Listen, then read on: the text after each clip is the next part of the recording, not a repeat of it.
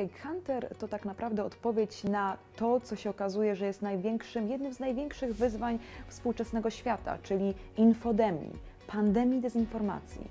I to nie dotyczy tylko i wyłącznie tego, co mieliśmy do, czym mieliśmy do czynienia w trakcie pandemii COVID.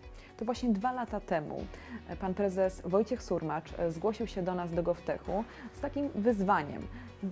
Czy jesteśmy w stanie stworzyć rozwiązanie technologiczne, które będzie wspierało właśnie walkę z dezinformacją, które wspomoże właśnie obywateli, aby mieć rzetelne źródło informacji możliwie jak najszybciej, jeżeli chodzi o potencjalnie pojawiające się nieprawdziwe informacje.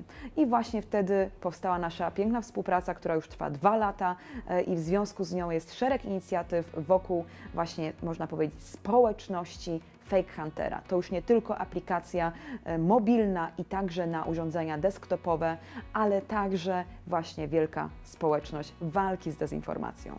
Fake Hunter został stworzony z myślą o każdym z nas. Tak naprawdę to narażeni na informacje, na dezinformację są wszyscy. Tego typu rozwiązanie jak Fake Hunter jest jedynym e, w, z taką pełną funkcjonalnością rozwiązaniem. W ramach narzędzia Fake Hunter tak naprawdę e, tutaj e, weryfikacją zajmuje się przede wszystkim zespół ekspertów w Polskiej Agencji Prasowej.